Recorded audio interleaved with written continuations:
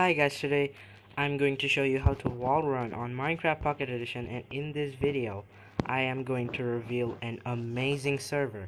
So don't skip or you will miss out all the fun, trust me. It's an amazing server. Watch till the end and consider subscribing. Bye bye. Uh, I mean sorry. Let's move on.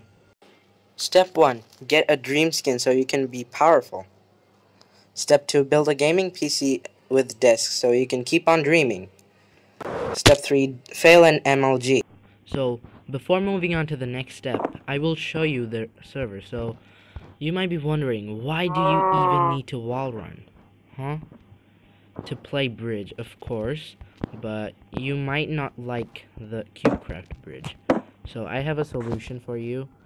Uh, there is an awesome bridge so since mobile players have no Hypixel to play, someone made a server called Hyperlands, and it is known as the Hypixel of Minecraft mobile players. So, moving on to the step 4. Go to settings. Um, it's taking a little bit long. So then go to touch turn on split controls. And the next step five, I mean, no, yeah. Step six is optional. You have to, but it's better, trust me. So you go to here and turn on this thing, outline selection. After you do that, then go to game and survival. And now look at this. You place your crosshair right here and then start wall running and uh that was a fail. This is how you wall run. So I have another trick.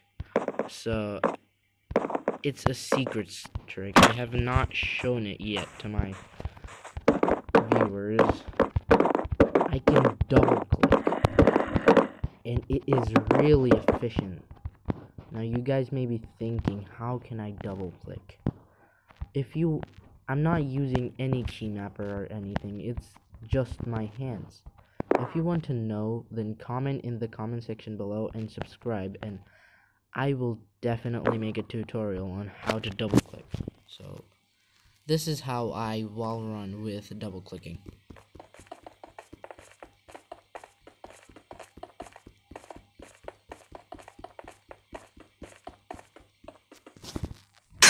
That's it. That's thank you for watching the video.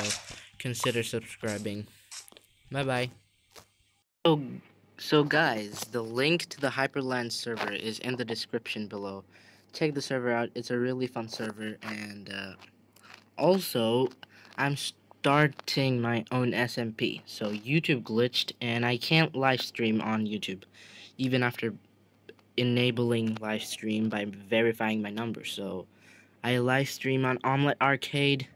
That my profile link will also be given in the description.